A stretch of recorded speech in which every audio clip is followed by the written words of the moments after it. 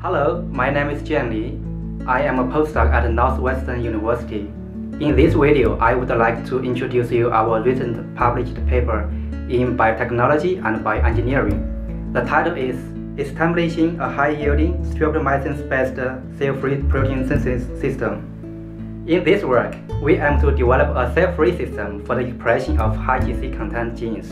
To this end, we choose the streptomycin species as our target strains because streptomycin strains has high GC content genomes. They are featured by many complex natural products, for example, the antibiotic biosynthetic gene clusters.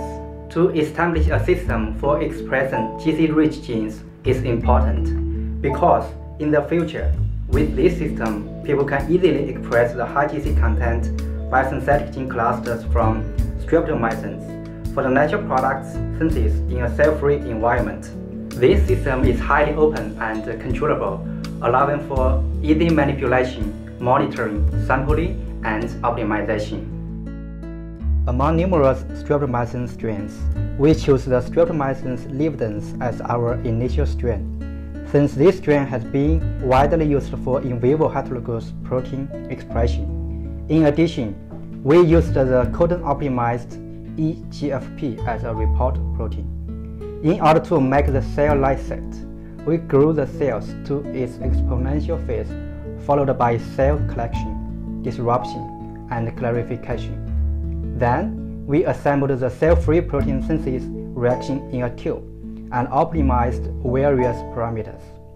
After optimization, we achieved the EGFP yield of more than 50 microgram per mil in a batch reaction, which was further increased to nearly 300 microgram per mil with a semi-continuous reaction after 48 hours. With this optimized system, we also expressed four GC-rich genes that are involved in the non-ribosome peptide biosynthesis. Our results indicate that the percent solubility of all four proteins was notably higher as compared to the E. coli-based cell-free system, showing promise for soluble expression of high GC content genes. In addition, we applied the cell-free system to other streptomycin strains and found that all cell extracts of the tested strains were active to produce the reporter protein. To summarize, in this work, we established a high-yielding streptomycin-based cell-free protein synthesis system. Looking forward, we believe that our system will contribute significantly to express complex natural products in clusters, providing a new avenue for obtaining and studying natural product biosynthesis pathways. With that, I would like to thank you for watching this video abstract. If you have any questions or comments, please feel free to contact us via email address that provided in the paper. Happy reading, thank you.